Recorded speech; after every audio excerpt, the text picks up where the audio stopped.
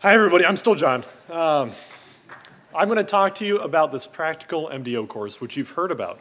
I'm gently concerned that you've already heard too much about it, and you might have expectations. But let's talk about what it is and what this means. So first, I will play a short intro. It has no sound because I want you to go to the YouTube and to listen to the sound yourself. I want you to get excited about learning MDO. So if you're in this room, you're probably here for some reason. Oh no, okay.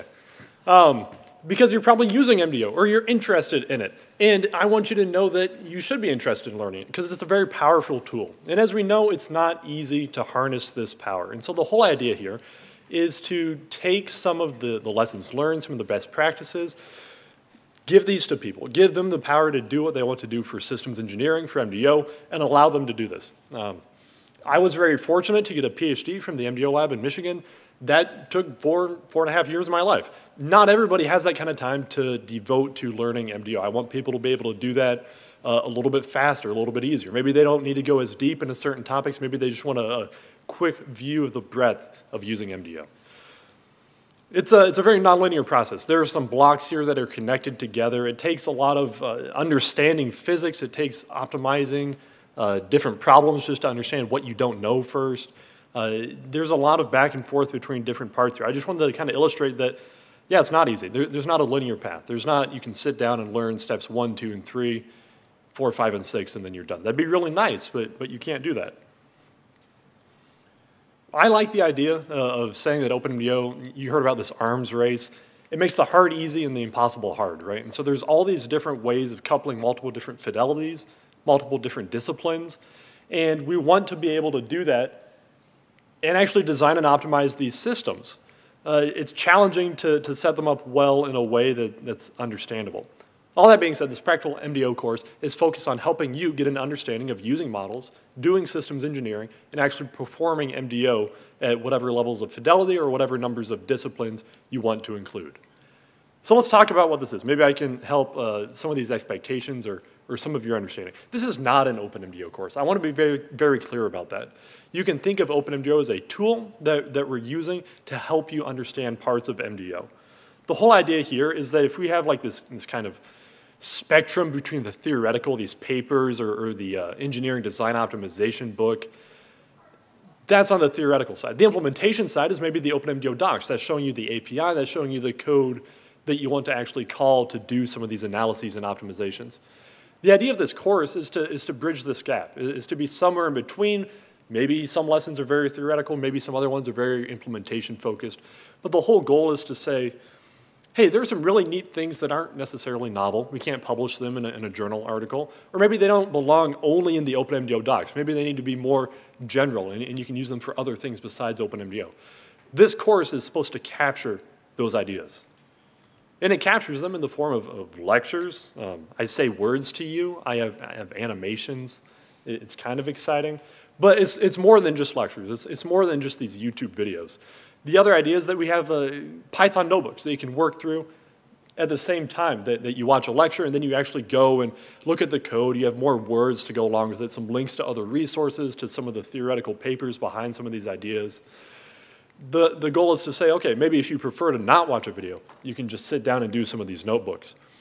And, and then the last one, which I hope flashes up soon, is the links to different resources. I mentioned this in the notebooks, uh, but the whole idea here is if you really want to get in the nuts and bolts of, of some of the theory, maybe you really need to care about some of this, you, you, can do that. You can, you can click through to some of the papers, to some of the documentation, and, uh, and check that out in more detail. Let's talk about your prerequisite knowledge, what you need to know. I, am not going to teach you Python. I can't do that. I can't teach you calculus. Uh, I assume that you come in with some knowledge of Python, you know, calculus, a, a bit of numerical methods, hopefully some OpenMDAO knowledge. Um, uh, again, I can't teach you, you know, all the documentation, the API stuff. I'm going to be the course that's on top of all these other things. And this will allow you to do the next generation systems engineering project. Isn't that exciting? Don't you want to do that? But it assumes that you have some prerequisite knowledge. Again, I'm not going to tell you what a derivative is, what, what an integral is, things like that. So in addition to having some textbook knowledge about like, you know, an undergraduate level understanding of calculus, maybe numerical methods, I, I want you to have a, a quasi-working knowledge of OpenMDAO. If you don't, I'll link you to the API docs. I'll, I'll link you to some examples in OpenMDAO to help you get that, that working knowledge. Uh, but again, this course is not necessarily about that. Throughout the course, I talk about three main subtopics. Um, the intersection of this is, is MDAO. Uh, this graphic comes from a previous blog post on the OpenMDAO website, but this is not necessarily where it originated. These three topics are optimization, modeling, and differentiation. You need to know how to model your actual physical system. If you're doing gradient-based design optimization, uh, you need differentiation. You need the gradients as well. And if you're, if you're trying to actually change the design of these systems to understand what kind of gains you can get from new technologies, you need to be able to optimize them. So throughout the course, I often reference, hey, this is focus. Uh, this is a focus from one of these subtopics. This is something that's really in this, or it's at the intersection of these two things. I want to kind of anchor the, the different lessons and the different lectures and, and let you know what we're really focusing on today. So there are three main topics. There, the course is kind of divided up into these three main topics, but I can't stress enough, the intersection of them is the interesting part. And That's the, that's the cool part. So it's never just one topic that we're really focused on. It's really the, the combination of all of them. The videos are very uh, forward-facing, is what people talk about. Uh, so let's talk about them. Each one's about 5 to 15 minutes. That's the goal. Some might be a little bit longer. Some might be a little bit shorter. Um, my attention span can't handle much longer than, than 15 minutes, right? So it, it's much easier to watch a few episodes on Netflix than one movie. Anyway, the idea is that we have animations, we have some, some graphs, some, some math theory. I, I walk you through that. Um, I definitely say words. Recently, I've been trying you know, to add video as well for some hand gestures. Maybe that helps. And the idea here is that these lessons will introduce some ideas. They won't tell you everything about them.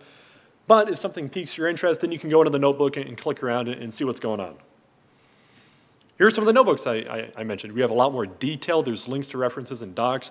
And the neat part about notebooks is that we have the actual OpenMDAO code to allow you to run through some of these examples. You can tweak them yourself. You can see what's going on there, see how it converges if you, if you change something. That's pretty cool. Also, there are some exercise type notebooks, maybe some homework problems is how you can think about them. I'll, I'll showcase those in a little bit as well. Uh, the idea there is that you can look at somebody doing something, but until you actually do it yourself, it's very challenging to learn. I learn by doing. Um, it, it's helpful to actually kind of struggle a little bit. To, to help you if you're struggling too much, there's some hints, and uh, there are also solutions. You can kind of check uh, maybe what I would suggest doing. These lessons don't just exist in a blob. They're not just points. I, I want to organize them in some way. But the issue, like I mentioned before, is that there's not a linear path through all of these lessons. So I have collections of guided lessons. Let's say that you're, you're starting with no knowledge but a huge capacity for learning and you want to learn how to do optimization. There, there's a zero to optimization in 10 steps idea. You talk about modeling, how to make your model, how to get derivatives, how to do optimization, how to debug your optimization. And all that it is, is, is a collection of discrete lessons. And, and, so it's kind of just a, a more intelligent, cur curated set of lessons that I'd suggest you go through if you want to do that. There are some other groups of guided lessons that I'm still working on, uh, but the idea is that if you just care about a, a, certain subset of the knowledge of this course, which lessons do you need to focus on? I, I want to I wanna make that clear for you. Other notes, I, am proud of some of these things. So there are subtitles and, and transcripts for each lecture. Um, if English is not your first language, I, I want you to be able to translate it more easily. If you remember me saying something weird and you're like, I don't know what lesson that was. You can search for it on, on the web page I'm going to show you. There's a little search bar and you can search for the words that I said. Maybe that's helpful. Uh, additionally, all of the lessons are kind of cross-linked uh, to each other and to the OpenMDAO website and to like papers and things. I can't stress enough that if something already exists that's a good resource for this, I'm not gonna I'm not gonna re-record it. I'm not gonna write a new thing about it. I, I'm just gonna kind of point you in that direction and help you get there. So that being said, let's do a live walkthrough. Let's see how this goes, right? This is always thrilling. Cool. Here's a web browser. Here, here's the landing page for this collection of lessons and things. I say hello and welcome. I explain what's going on. We have this fantastic Venn diagram. I scroll down. There's an intro lecture. Heck, it might say almost what I just said just now. But you can watch it on your own time. Uh, it's a little bit different. There's some main points, just some bullet points, things like that. Okay, but let's talk about the meat of the course. On the left-hand side here, we have like a, like a tree of what we're checking out. We have guided lessons. If I click on zero to optimization in 10 steps, it's got these 10 steps. It's got links to the lessons about them. Now you might say, John, some of these are not linked yet. I'm working on it. We're, we're working through some of these lessons still. This is absolutely a work in progress. But let's take a look at some lessons, right? So we have model construction. Maybe that's what you care about first. Somebody said you should use the N2 diagram, and you said, I don't know what that is. I don't know how to make it. You can learn here. You can click on the video. That's my face. I don't know why I look so serious in this one. It's a very serious topic, these n-squared diagrams, but you can check them out. Then I also show, you know, some tips. I have some links here. Um, it's more than just the videos. I can't stress that enough. So you can click through any one of these, every single one of these. Um, I don't know, I put a lot of thought into this. I, I seek feedback from, from the, the NASA team. Uh, some people say nice things, other people say constructive things. They say things to help them get better. Um, thank you, everybody, for your support. Uh, there, there's lots of work that goes into this, is what I'm trying to say. We, we hear from people who are power users, like Justin, who say, everybody knows that, you don't need to, to make a lesson about that. And other people who say, I don't know what that is, can you please make a lesson about that? So there's a huge spectrum of people who have been providing input for this. Uh, it's really fun. What am I most proud of? I'm most proud of, I think, the ability to talk about this and to share this with people who may not, again, have had time to have a formal education about this. I want to make MDO accessible to many, many more people. I think this is just one of many tools to help make that happen. The fact that NASA is funding this and putting it out in the open source domain, it's fantastic. So I want you to use this. I want you to recommend this to other people. If you have suggestions for how to make it better, you say, actually, this isn't relevant for me yet. I'd much rather see this. Tell me, tell us. We'd, we'd love to hear it. We'd love to make this a, a one-stop shop for all sorts of things related to MDO. The second most proud I am is to work my cat into these videos. Um, this has an astronomical number of views and likes compared to the other ones. Um, He's got 17 likes. His name's Smokey Kitty. Um, when it's just me, it's got like three likes. I don't know what that's about.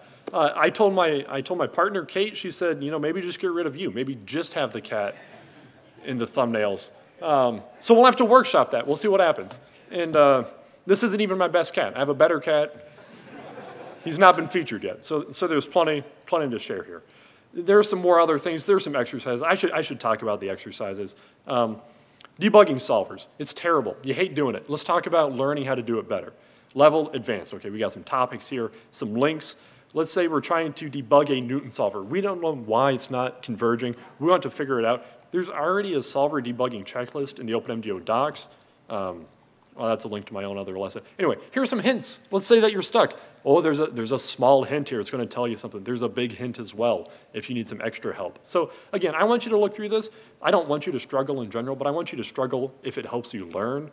But there's also hints. If you scroll all the way down after you've, used, you, you've taken a look at it, you've tried it, you can click on the solutions page. You can check it out.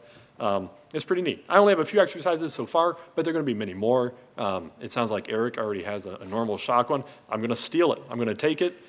I'm going to put it in here. It'll be great. Video transcripts, right? And so this is just what I mentioned before. There, there's text here. Also for the actual YouTube videos, if you click through to them, it, has got the text popping up on the screen as the videos are playing. I, I hope that helps you. Um, sometimes I mumble. Sometimes it's nice to see the actual text, right? So this was the live view at the website. It's, it's, I think it's fun. Try searching through some terms, see if something's there. If something's not there, tell me that you want to see a, a lesson about it. Let's chat. Thank you for your time. What questions do you have? Thanks so much, Sean.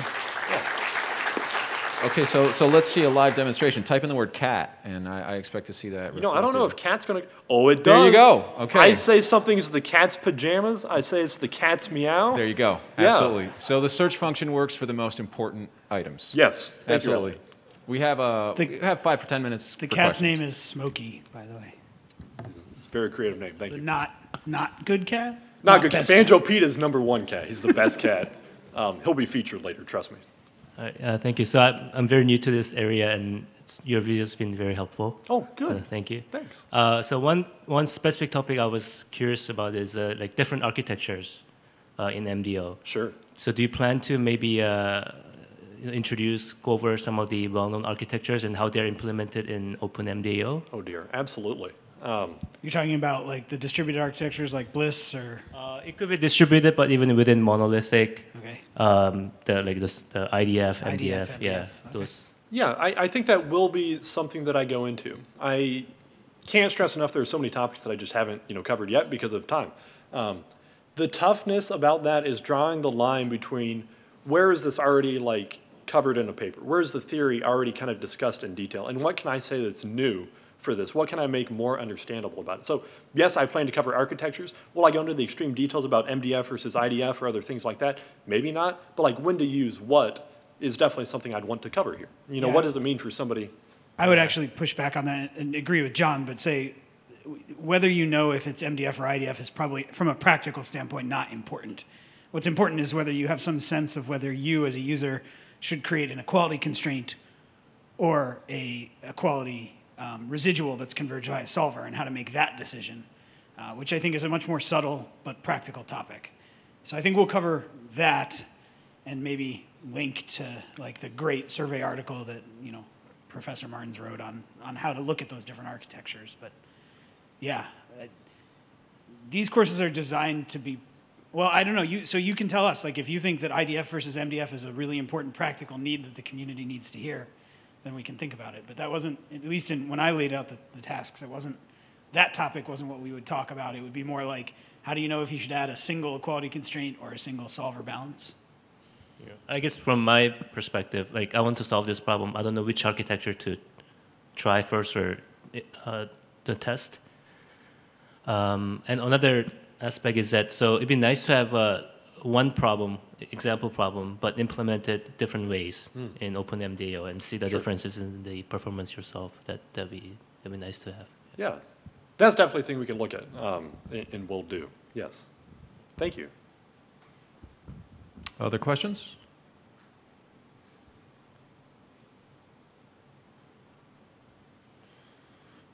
Everybody wants lunch. Yeah, it's fair. Oh, no, no, it's all right. We got some time. See, now I'm the one that delays lunch. So, um, do you talk at all about dealing with models that don't necessarily have are like that aren't feasible everywhere, that have areas of the domain that just don't evaluate? Yes, absolutely. Um, how to talk? There are so many things that could be said about that. Uh, yeah, I, I think one thing is how to do optimization there and what that means, how to kind of like foolproof it. And what I will focus on in, in this lesson is kind of about how to handle that, how to send like an analysis error flag or something like that that will allow you to persevere through those issues and go past there. In a few places, I also say, hey, you should start from a feasible point in the design space mm-hmm. if you can. But if you don't know where that is, then you have to figure out what to do with that. I, I think you're asking specifically about like large areas of non-validity though, not like some random point in the space that doesn't converge, but like there's an island of, of badness in your model. Yeah. Yeah, that's probably a whole nother lecture. Yeah, that's a mess. Don't do that. yeah, I'm not I'm not sure I even have a I mean you just add constraints to stay away from it. I'm not I'm not sure I have a good answer for how to deal with that. Uh, we, we've used uh, the analysis error flag in the past to basically tell the optimizer that it has to Yeah, but search if that you- point again. But if it, if there's like a whole island where that then the optimizer will just die if it gets like three or four of those in the row. So Yeah. yeah. Um, it's an interesting topic. We can talk more about it at dinner. Um, I- that I would I would label that as like an advanced topic, although maybe problematically that's one of those advanced topics that maybe practical, realistic problems have to deal with. Um, so yeah, I'd say there's two kinds of failure. There's like the random failure where like this point fails, but then this point like a millimeter to the left works fine.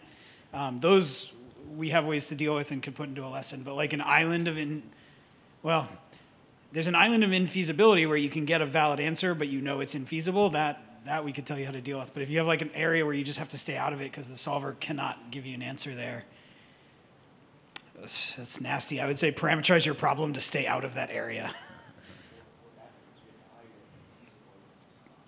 Well, that at least, if if you have an island that's feasible and everything else is not, you can stay inside that island. But yeah, well, fair enough. But yeah, so but yeah, that's that's a that's a not easy topic. And if it's an important one, if enough people seem to think it's one they're running into, then maybe it's something we'll have to generate some lessons for.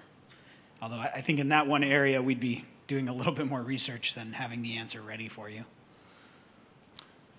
Any other last questions or any questions from anyone online? Okay, with that, John, thank you very much. Cool. Thanks.